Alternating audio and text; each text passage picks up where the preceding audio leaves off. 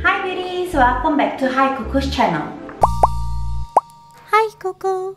In today's video, we will be busting some skincare myth. Have you ever heard any skincare rumors that you weren't sure of? Maybe some of these rumors have made you hesitant to buy a product that you're interested in or causing you to unknowingly have even more skin troubles. Well, today, let's find out whether some of these common skin myths are true or false. Skincare myth number one. Oil cleanser will make skin more oily. This is an easy misconception to have as it can make sense to think that adding more oil to oil doubles the oil. But have you ever heard of the term fighting like with like? That's right. Oil cleansers are able to remove the oil, sebum and other stubborn impurities from your deep pores. Their slippery and heavier consistency means that they can work deeper in the pores and remove more buildup. And another key point is really moisturizing. I'm pretty sure we have all heard by now that oily skin caused by the lack of moisture and how the skin produces more oil to make up for it. For the deep cleanse that doesn't strip the face of its natural oil, I highly recommend oil cleanser for all skin types. With that being said, there are so many lightweight oil cleansers on the market, such as Klairs Gentle Black Fresh Cleansing Oil or the Face Shop Rice Water Bright Light Cleansing Oil. Skin myth number 2. You can just use normal face moisturizer as eye cream.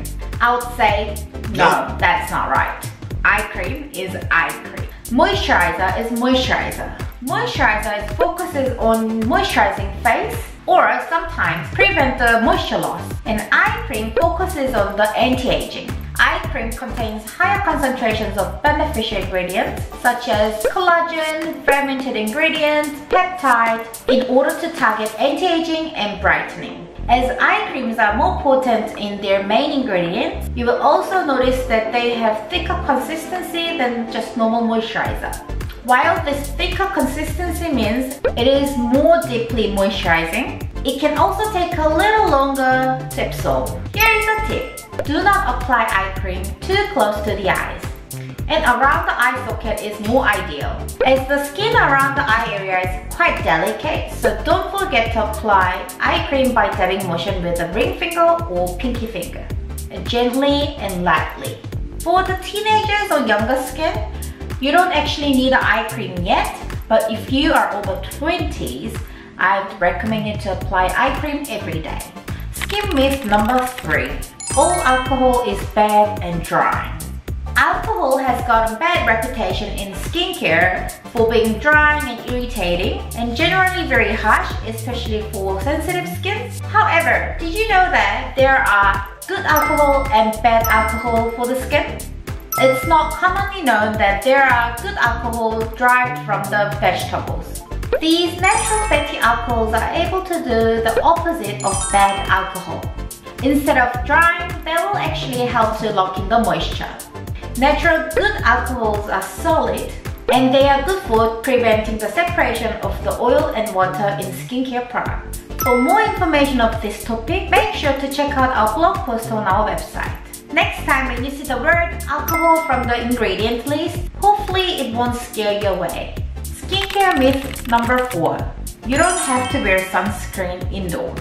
Mm, well, to me, I always suggest our beauties to apply sunscreens whenever you are inside or outside. The sun may be essential, but it can also be skin's biggest enemy. Did you know that aside from the diet and lack of moisture, UV rays are one of the biggest root causes the skin trouble.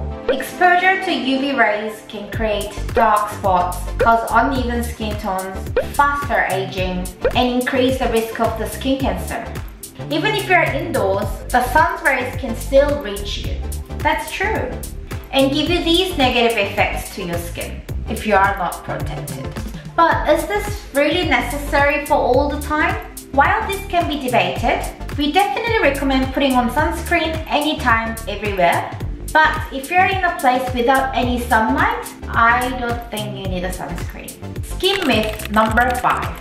You don't really have to wash off sunscreen. Oh my god, how many people believe that you don't actually need to cleanse the sunscreen? Carrying on from the previous myth about sunscreen, there are some people that believe sunscreen is skincare and it doesn't need to be washed off end of the day. My answer is yes. Sunscreen is skincare and certainly not as heavy as makeup.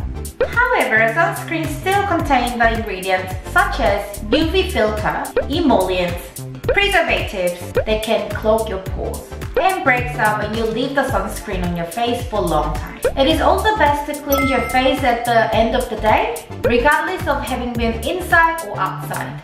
And dust and other impurities still build up and adhere to the face throughout the day. So, how did you find out today's video?